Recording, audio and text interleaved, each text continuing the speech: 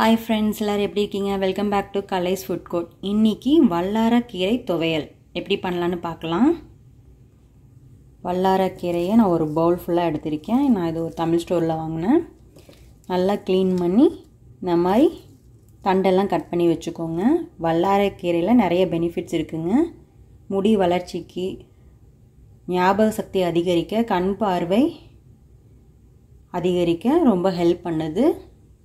அப்படிப்பட்ட வல்லாரக்கீரையை இந்த மாதிரி துவையில் அரைச்சி பார்க்கலாம். ரொம்ப நல்லாயிருக்கும் இது இட்லி தோசை சாதத்துக்கெலாம் ரொம்ப நல்லாயிருக்கும் இது கொஞ்சம் கசப்பாக இருக்கிறதுனால நிறைய பேர் சாப்பிட மாட்டாங்க.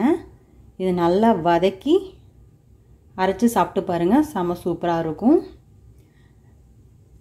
இந்த வீடியோவை கடைசி வரைக்கும் பாருங்கள் ஃபஸ்ட்டு நம்ம வல்லாரையை தனியாக வதக்கி எடுத்துக்கலாம். பேன் ஹீட் ஆகிட்டுருக்கு இதில் நம்ம வல்லாரக்கீரையை ஃபஸ்ட்டு தண்ணி இருக்கிறதெல்லாம் ட்ரை பண்ணிடலாம் ஃபஸ்ட்டு எண்ணெய் ஊற்றிடாதீங்க இதில் இருக்கிற எக்ஸஸ் வாட்ரு கொஞ்சம் ட்ரை ஆகட்டும். ரொம்ப ஹெல்த்தியானதுங்க வல்லாரக்கீரை சொல்கிற மாதிரி செஞ்சு சாப்பிட்டு பாருங்கள் கசப்பே இருக்காது. நல்லாயிருக்கும் இதை அடிக்கடி சேர்த்துக்கோங்க. குழந்தைகளுக்கெல்லாம் ரொம்ப நல்லது. ஞாபக சக்தி அதிகரிக்க ரொம்ப ஹெல்ப் பண்ணுது. முடி வளர்ச்சிக்கும் ரொம்ப ஹெல்ப் பண்ணுது. இப்போ இதில் இருக்கிற தண்ணியெல்லாம் கொஞ்சம் ட்ரை ஆகட்டும். பாருங்கள் தண்ணி ட்ரையாக இருக்குது இப்போ எவ்வளோ வல்லாரக்கீரை எடுத்தோம். நான் பாருங்கள் எவ்வளோ கம்மியாக இருக்குன்னு. இப்போ இந்த ஸ்டேஜில் நம்ம எண்ணெய் ஆட் பண்ணி இதை நல்லா வதக்கி விடலாம். நல்லா வதக்கிட்டால் பச்சை வாசனை எல்லாம் போயிடும் கசப்பு தன்மையும் போயிடும் இதை நல்லா வதக்கணும். வதக்கிட்டே இருங்க. இது நல்லா வதக்கிட்டால் கசப்பு தன்மையே இருக்காது. இந்த மாதிரி வதக்கிட்டே இருங்க. பாருங்கள் நல்லா சுண்டை வதக்கியாச்சு. இதை வந்து இப்போது ஒரு பவுலில் மாற்றிடலாம் இந்த வல்லாரக்கீரையை தனியாக வதக்கி எடுத்து வச்சுக்கோங்க. அப்போ தான் நல்லாயிருக்கும்.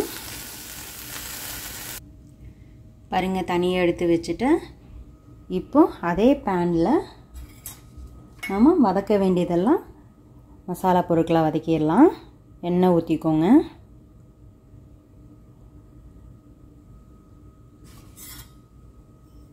இதில் சின்ன வெங்காயம் அஞ்சு பூண்டு அஞ்சு பச்சை மிளகா உங்களுக்கு காரத்துக்கு தகுந்த மாதிரி போட்டுக்கோங்க.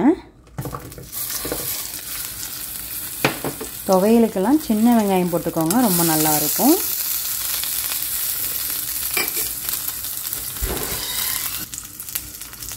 வதங்கிறதுக்கு உப்பு போட்டுக்கலாம். வல்லார கீரை துவையல் பிடிக்காதவங்க இந்த மாதிரி செஞ்சு கொடுங்க. நல்லா சாப்பிடுவாங்க. இட்லி தோசை சாதத்துக்கெல்லாம் சூப்பராக இருக்கும். நல்லா வதக்கி விடுங்க. உங்களுக்கு காரத்துக்கு தகுந்த மாதிரி பச்சை மிளகா போட்டுக்கோங்க. கொஞ்சம் வதங்கட்டும். இதுலேயே சீரகம் பெரிய ஸ்பூனில் ஒன்று போட்டுக்கோங்க. இது சின்ன ஸ்பூன். அதனால் ரெண்டு போட்டுக்கிறேன். பெப்பர். முழு பெப்பராக இருந்தாலும் போட்டுக்கோங்க. நான் பெப்பர் தூள் போட்டுக்கிறேன். இதெல்லாம் நல்லா மிக்ஸ் பண்ணி விடுங்க.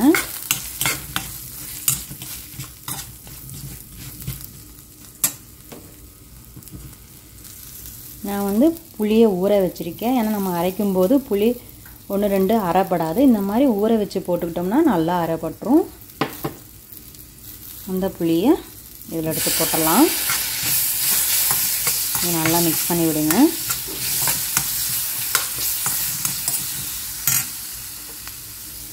இதுலேயே தேங்காய். நான் ஒரு நாலு ஸ்லைசஸ் தேங்காய் எடுத்திருக்கேன். இதில் போட்டுடலாம் நல்லா மிக்ஸ் பண்ணி விடுங்க.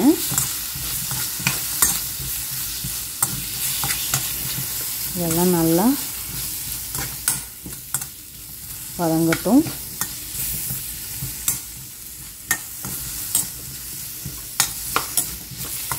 இந்த மாதிரி செஞ்சு சாப்பிட்டு பாருங்கள் சூப்பராக இருக்கும். இது கொஞ்சம் வதங்கட்டும். இது இப்போ நல்லா வதங்கிருச்சு. இது ஆறின பிறகு இந்த மசாலா பொருளையும் இந்த வல்லாரக்கீரையும் நம்ம மிக்ஸ் பண்ணி ஜாரில் போட்டு கிரைண்ட் பண்ணிடலாம் இதெல்லாம் ஃபஸ்ட்டு ஆறட்டும். அப்போ இதெல்லாம் சேர்த்து மிக்சியில் போட்டு அரைச்சிட்டு எப்படி வந்திருக்குன்னு உங்களுக்கு காட்டுறேன். பாருங்கள் நல்லா கிரைண்ட் பண்ணிவிட்டேன் எவ்வளோ க்ரீனிஷாக இருக்குதுன்னு இப்போ இதில் நம்ம கடுகு உளுந்து கருவேப்பிலை தாளித்து ஊற்றிடலாம் ஊற்றிட்டு எப்படி வந்திருக்குன்னு உங்களுக்கு காட்டுறேன். கடுகு உளுந்து கருவேப்பிலை போட்டு தாளித்து ஊற்றியாச்சு அவ்வளோதான் வல்லாரக்கீரை துவையல் இஸ் ரெடி இந்த வீடியோ கண்டிப்பாக உங்களுக்கு பிடிச்சிருக்குன்னு நினைக்கிறேன். பிடிச்சிருந்தா மறக்காமல் நம்ம சேனலுக்கு சப்ஸ்கிரைப் பண்ணுங்கள் இந்த மாதிரி செஞ்சு சாப்பிட்டு பாருங்கள் கசப்பே இருக்காது. ரொம்ப ஹெல்த்தியானது வல்லாரக்கீரை துவையல்.